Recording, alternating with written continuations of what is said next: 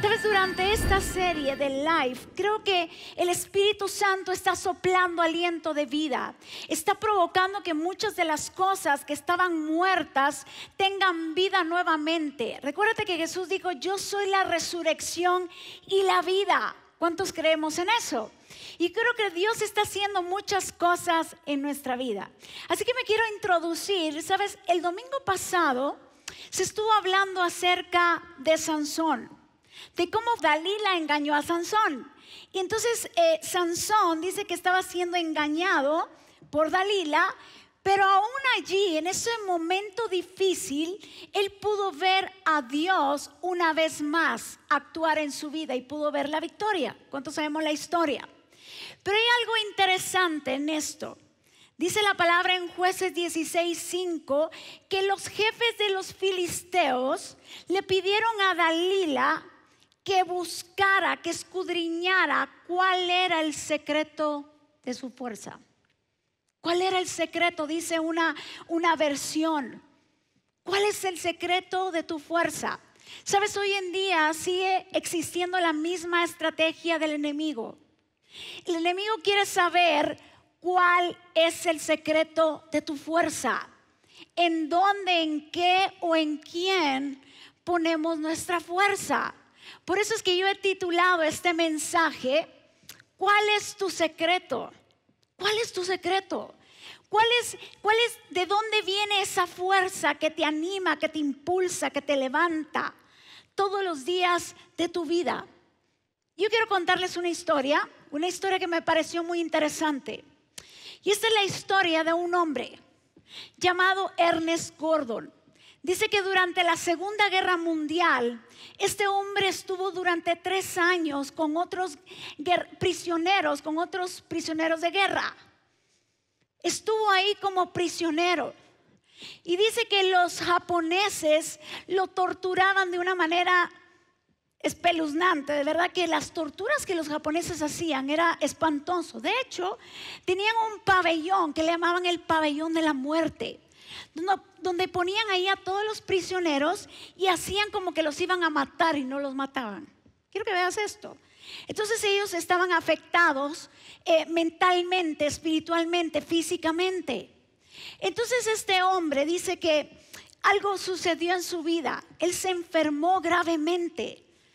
Se enfermó gravemente y, y aparecen dos soldados norteamericanos. Escucha bien estaba todo lacerado, estaba torturado. Y estos dos americanos empiezan a sanar sus heridas. Empiezan todos los días, las 24 horas si pudieran, empezaban a sanar sus heridas, pero no solo eso, empezaban a darle palabra, empezaban a citarle la Biblia.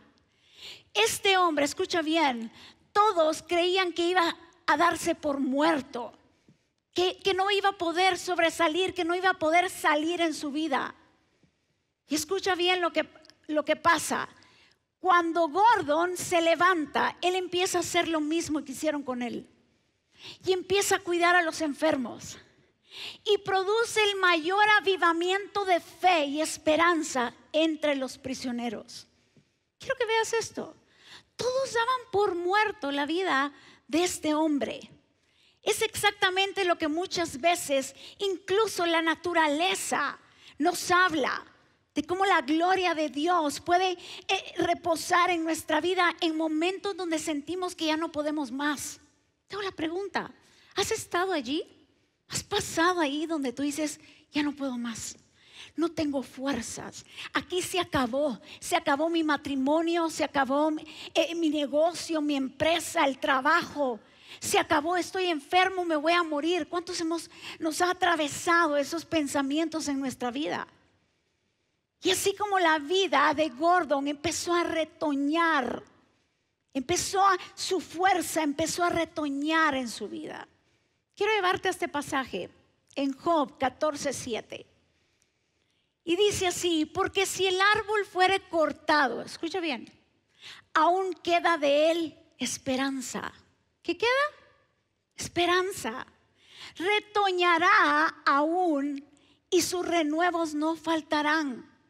Si se envejeciera en la tierra su raíz y su tronco fuere muerto en el polvo, al percibir el agua, quiero que le pongas atención a esto, al percibir el agua reverdecerá y hará copa como planta nueva. Usted sabe que la mayoría de los árboles que son cortados pueden retoñar. O sea, quiero que usted se imagine, yo no sé si tenemos, ahí hay una foto. Pueden retoñar. O sea, muchas veces en nuestra vida sucede de la misma manera. Nadie da un centavo por ti. Todo mundo cree que, que, ya estás muerto.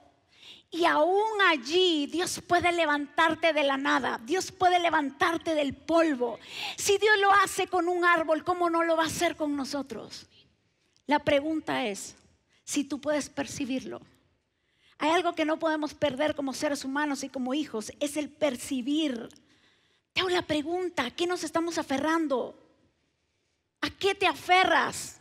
¿De dónde viene la fuente de tu fuerza? Y nos podemos equivocar.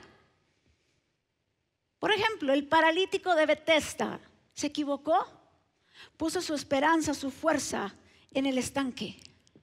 Gedeón mismo se equivocó, puso su fuerza en su pasado, es que mi familia no puede, es que soy pobre, es que no soy el menor.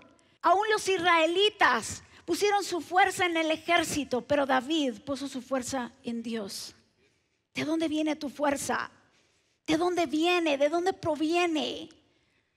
Yo quiero enseñarte tres cosas muy claras, muy básicas, de qué pueden drenar nuestras fuerzas. ¿Sí? Porque una cosa es que Dios te dé fuerzas y otra cosa es que por lo externo muchas veces em, esas fuerzas empiecen a drenar. ¿Les ha pasado? ¿Sí? Ok. Lo primero que puede drenar nuestras fuerzas es la culpa. Sí, la culpa.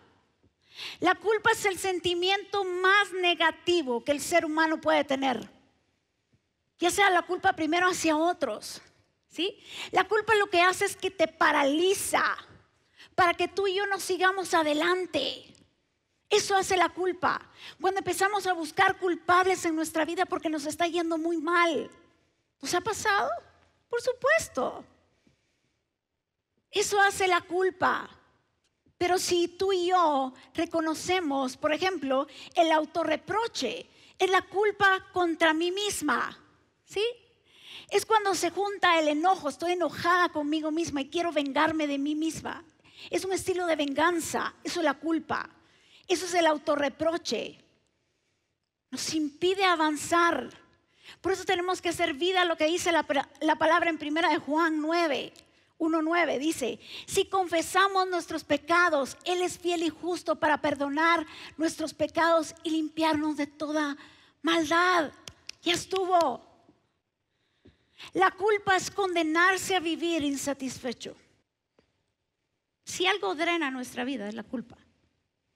¿Por qué te sigues culpando? ¿Por el error que cometiste? ¿Por la mala decisión que tomaste? ¿Por qué te culpas? ¿Por qué culpas a otros? Sabes, la culpa es esa voz que resuena todo el tiempo en tu mente y solo tú tienes la autoridad de hacerla callar. Nadie más. No permitas que la culpa gobierne tu vida, porque vas a estar condenado a vivir de una manera insatisfecha todo el tiempo. Jesús nos perdonó, Jesús sabe que fallamos, por eso su palabra dice, son nuevas sus misericordias cada mañana, o sea, Dios ya sabe que mañana le vamos a fallar. Y por eso es que Él nos regala de sus misericordias, de sus nuevas. ¿Cuántas cosas hacemos por culpa? A ver, ¿a cuánto les pasó? ¿Cuánto les pasó que cuando estaban comiendo y tenían un plato, venía tu mamá de niña y te decía, que comete eso, terminate el plato, Melanie. ¿Cuántos niños en la calle no tienen que comer? Y te lo comías por culpa. ¿Cuántas veces en nuestra vida hacemos muchas acciones, tomamos muchas decisiones porque tenemos culpa? La culpa lo único que va a hacer es que va a drenar nuestra vida. Ya deja de culparte, ya deja de culpar a otros. Simple y sencillamente pon tu mirada en Dios.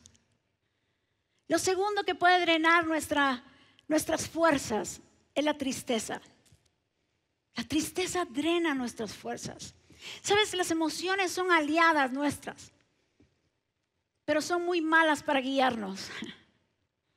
Claro, la emoción te puede acompañar en tu vida, pero no permitas que la emoción te guíe, mucho menos que dirija tu vida. Cuando una persona está triste todo el tiempo, va a empezar a drenar sus fuerzas. ¿Sabes? Las emociones son buenas, son cortas y tienen propósito. Por ejemplo, si vemos la tristeza, ¿cuál es el propósito de la tristeza? Dios nos dio las emociones. Lo que hace la tristeza es que cierra un ciclo y empieza uno nuevo. Y para eso sirve la tristeza. La tristeza lo que hace es que nos hace meditar, nos hace reflexionar. Porque nada sirve que una persona pase llorando todo el tiempo si nunca medita y nunca reflexiona. ¿Qué actitud debe de tomar? Algo que va a drenar nuestras fuerzas es la tristeza. Se vale pasar momentos de tristeza, pero no se vale vivir con tristeza. Mira lo que dice en Job, Job 9:27. Me gustó mucho esta versión, quiero que lo leas ahí conmigo y dice así. A veces pienso en olvidarlo, en olvidarlo todo, en cambiar de actitud y sonreír. Me gustó mucho esta versión. A veces pienso en olvidarlo, dice, cambiar mi actitud y sonreír. Al final, te voy a decir algo, tú decides cómo quieres sentirte. Tú y yo vamos a decidir cómo sentirnos. Por eso es que no podemos permitir que la tristeza gobierne nuestra vida. Por eso la palabra dice, el gozo del Señor es nuestra fortaleza. Pierdes el gozo, pierdes la fuerza. ¿Usted sabía que, sabían que hay ah, terapias para los enfermos donde lo que hacen es que los ponen a reírse? ¿Sí? Mientras más tú te rías, aún en momentos difíciles, nosotros podemos buscar situaciones por qué reírnos. ¿Sí? Tenemos que buscar situaciones por qué reír, porque siempre habrá algo por qué reír. El gozo del Señor es nuestra fortaleza. Vamos con el tercero. Seguramente muchos se van a identificar con esto. Y es el tiempo de espera. Uy, esa demora extrema. ¿Cuántos saben de lo que estoy hablando? ¿Sí? Eso drena muchas veces nuestras fuerzas. Donde Dios ha hecho promesas, Dios te ha dicho lo que va a hacer contigo, con tu familia, con tu matrimonio, en tus finanzas. Pero sentimos el tiempo de espera tan largo. Te voy a decir cuál es el problema. El problema es que nosotros solo estamos pensando en el hoy en el presente, lo que estamos viviendo hoy. Pero Dios no. Dios es eterno. Y los planes de Dios no son temporales, son eternos. Y hasta que nosotros no comprendamos eso, vamos a batallar con la voluntad de Dios. Mira lo que dice en Génesis. Génesis 15:5, en esta versión TLA. Dice así: Luego lo llevó afuera y le dijo, mira el cielo y sus muchas estrellas. ¿Verdad que no puedes contarlas? Pues tampoco será posible contar a tus descendientes. Quiero que veas cómo Dios, Abraham estaba metido en su yo nada más, en su hoy, en el día de hoy. Dios le había prometido que iba a tener un hijo. Pero la demora cada vez se hacía más larga y más difícil. Entonces quiero que vean lo siguiente. Yo imagino a Dios, el mensaje de Dios a Abraham era Abraham, tú estás esperando un hijo y te lo voy a dar, pero yo estoy viendo una descendencia para ti. Mientras tú estás esperando algo para el día de hoy, Dios está viendo más allá. Si algo tenemos que comprender es que Dios es el dueño de los tiempos. Dios es el dueño de los tiempos. Resistirme a los tiempos de Dios implica resistirme a la voluntad de Dios. Yo no quiero resistirme a su voluntad, porque yo sé que no me va a ir bien. Entonces necesito confiar en los tiempos. Mira lo que Jesús le dice a sus discípulos en Hechos 1.7. Dios ha hablado y dice, Jesús les contestó, no les corresponde a ustedes conocer el día o el momento que el Padre ha fijado con su propia autoridad. Dí conmigo, no, no le corresponde. No me corresponde. ¿Desde cuándo le ponemos día, hora y fecha a nuestras promesas? ¿Mm? ¿Te ha pasado? Que tú dices, seguramente tal mes, en tal temporada, Dios va a hacer esto en mi vida. Y resulta que no pasa y te frustras y te enojas con Dios y empieza la batalla interna. ¿Quién nos dijo a nosotros que nosotros le poníamos fecha, hora, día a las promesas de Dios? Al que Dios responda a nuestras vidas. Entonces te voy a decir algo, cuando no sucede, vivimos en un estado de frustración en nuestra vida. ¿Sí? Entramos en un estado de frustración. La frustración es la mezcla entre la tristeza y el enojo. Entonces estamos frustrados porque Dios no ha hecho como nosotros esperábamos, en el día que esperábamos, de la forma que esperábamos. Yo te voy a decir lo siguiente, yo he aprendido lo siguiente. Mis emociones necesitan una verdad. Agrégale a tu emoción una verdad. Te voy a decir por qué.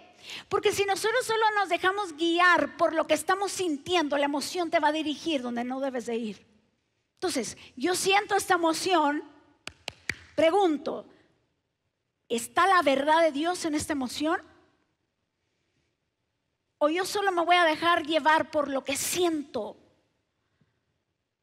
agrégale a esa emoción la verdad de Dios.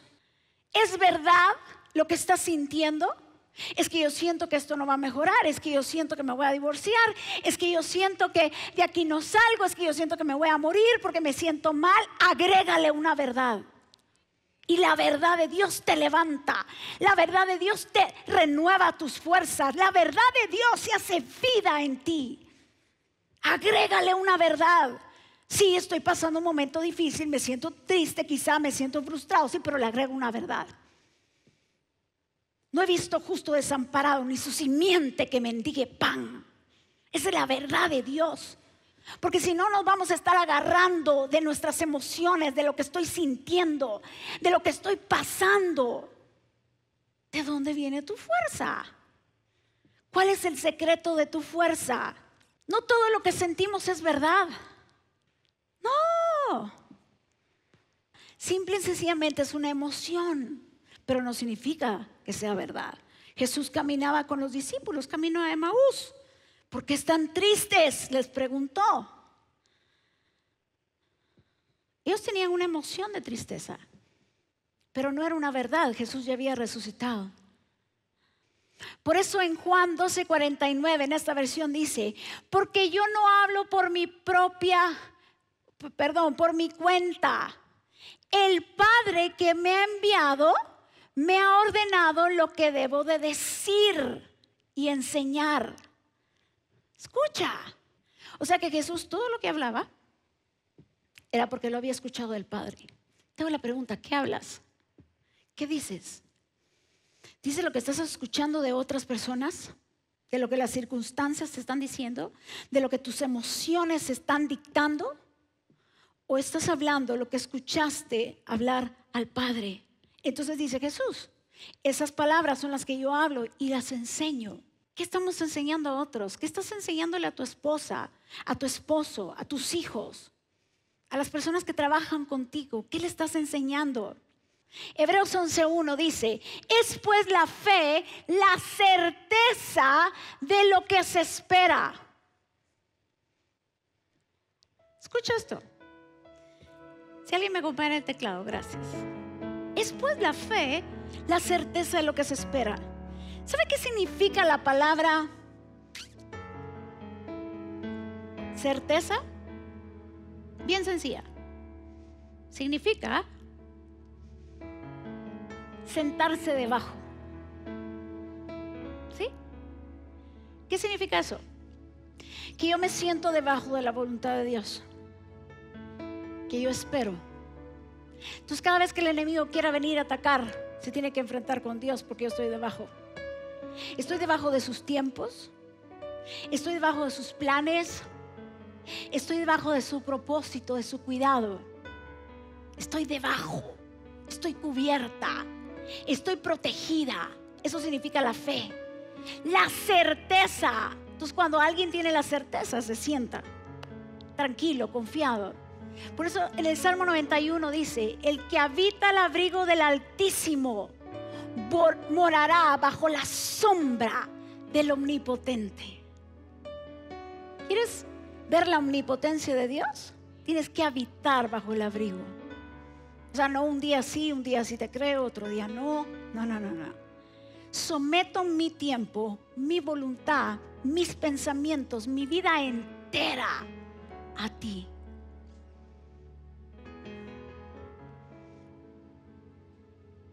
Por eso me, gusta mucho este Salmo 91. Mira lo que dice en el 4. Con sus plumas te cubrirá y debajo de sus alas estarás seguro. ¿Quieres estar seguro en Dios? Ten la certeza. Y cuando el diablo encuentra a alguien con certeza, ni siquiera se le acerca. Mejor va y busca a los que están dudando.